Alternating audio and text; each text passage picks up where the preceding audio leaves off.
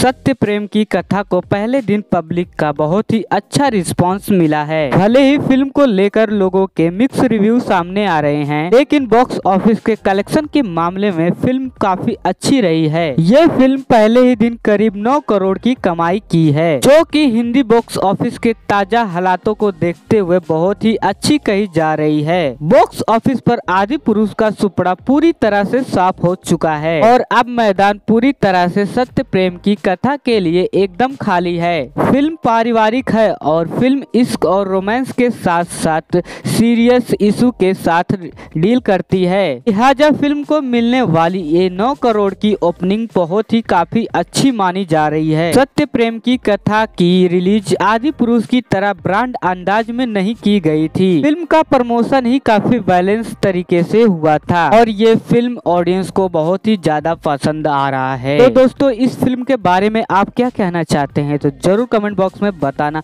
और हमारा channel cinematics review Adda subscribe करना ना भूलना।